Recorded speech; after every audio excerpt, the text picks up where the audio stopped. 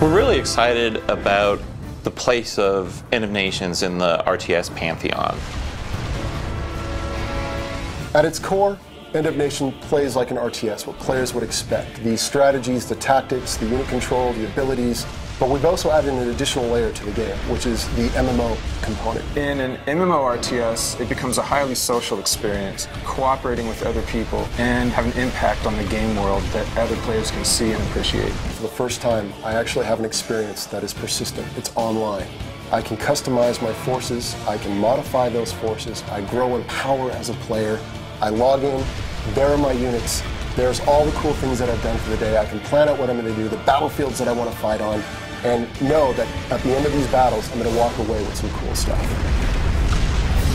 So the game begins around an economic meltdown that happens worldwide. Governments are failing, economies are collapsing.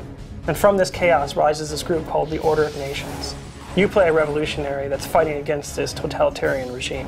And you look at them as some sort of blend between the United Nations and the, the military industrial complex. They have some of the highest technology that you can find, and they also have some of the biggest bosses in the game.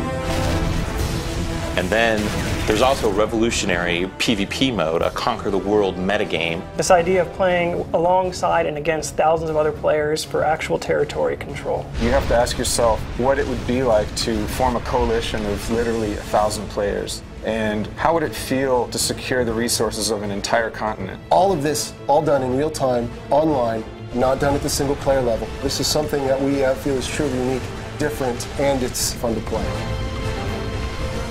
End of Nations will have the quality you have come to expect from Trion. Working with Petroglyph, where we have some of the people that have just such a deep history in the RTS genre, and whether it's the amount of polish that players will experience playing a map or the artistic presentation, we feel that we're delivering something absolutely top of the line.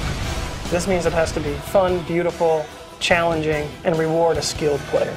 I feel like we're really building something new and innovative and not just resting on all the same gameplay mechanics that people have seen time and time again.